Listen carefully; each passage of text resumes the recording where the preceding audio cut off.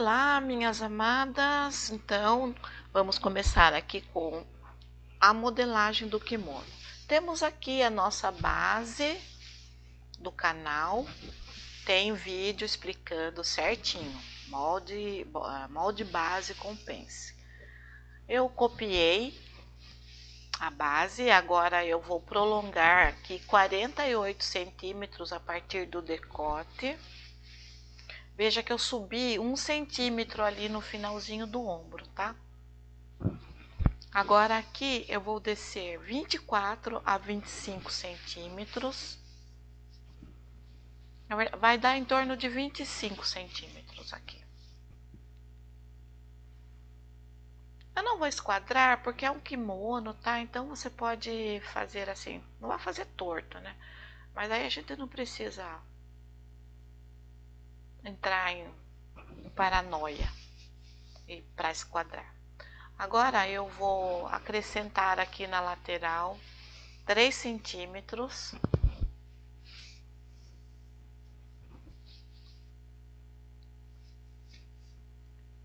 Vou ligar aqui. Esse kimono você pode fazer em musseline, viscose, linho, malha estampada. É uma peça que veio para ficar. Vou descer aqui agora, fazer essa curvatura, ligando esses pontos aqui. Olha, do início da cava até aqui dá 15 centímetros, tá? Aí aqui eu tô ligando. Venho com a régua curva, faço acerto aqui.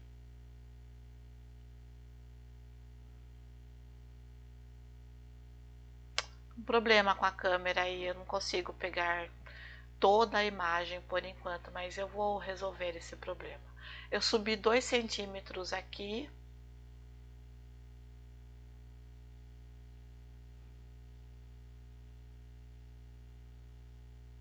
Agora eu vou demarcar aqui, o, dar uma reforçada no, no traçado do molde. Aqui dá para fazer com a mão mesmo.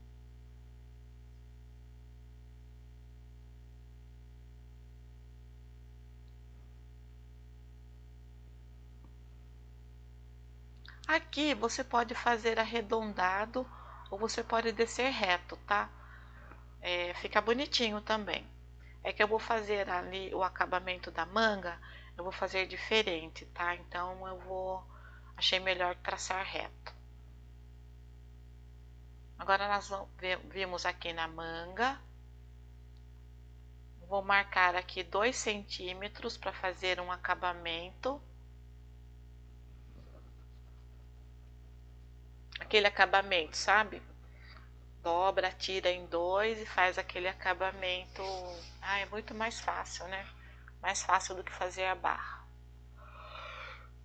Eu vou anotando tudo no molde, né? Porque quando você vai costurar, você precisa fazer a leitura do molde primeiro. Aqui eu marquei 30 centímetros.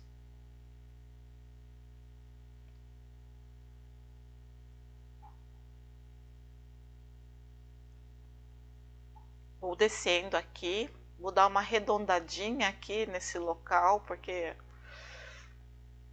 ficou muito reto, então vou dar uma ajeitadinha aqui uma leve curvatura aqui. E agora eu vou acertar o arredondado aqui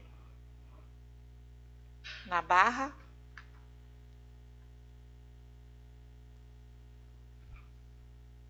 Então agora eu subi quatro e entro seis aqui. Vem com a régua curva.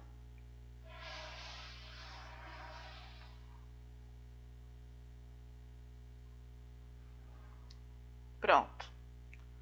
Parte da frente está pronta.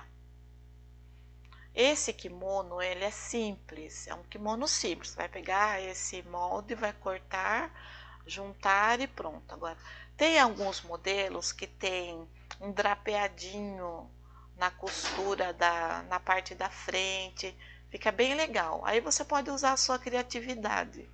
Porque depois que você tem o molde, né, fica tudo mais fácil. Agora vou fazer a parte das costas, já copiei, tracei uma reta aqui para fazer o decote das costas, desço dois centímetros, venho com a mão mesmo, mas você pegue a régua, você que não tem muita experiência, pega a régua que fica melhor. Aqui eu vou subir 3 centímetros no decote e vou subir um centímetro no final do ombro.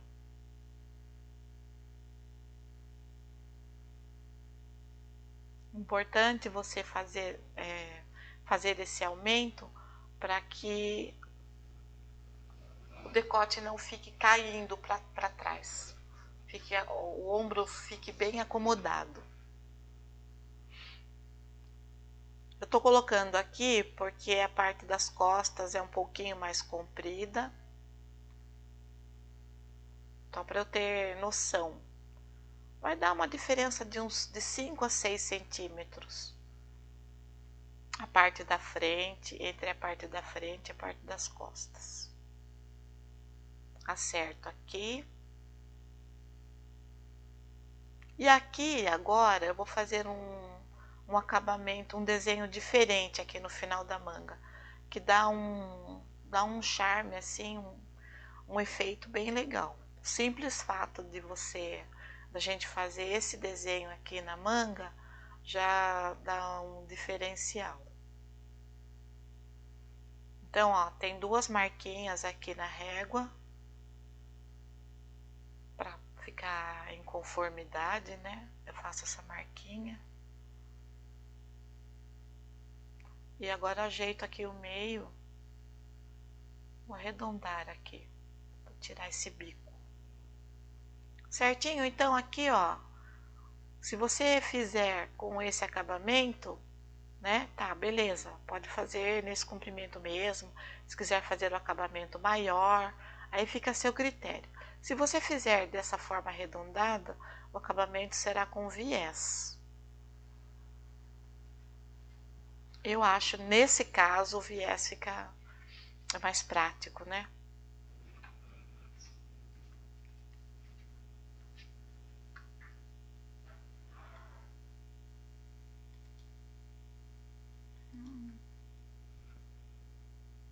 Aqui, olha, tá vendo? Vai precisar subir mais dois centímetros. Eu calculei mal ali o tamanho do papel. Então, vou subir mais um pouquinho aqui. Finalizadas as costas. Viu como é rápido? Não esqueçam de deixar o seu joinha, tá bom? Entra lá no canal, procura o vídeo do molde base com pence, para vocês chegarem a essa base do canal. É um kimono G,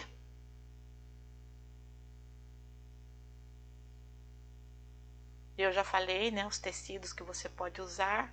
Há uma variedade de tecidos, né, desde que seja fluido.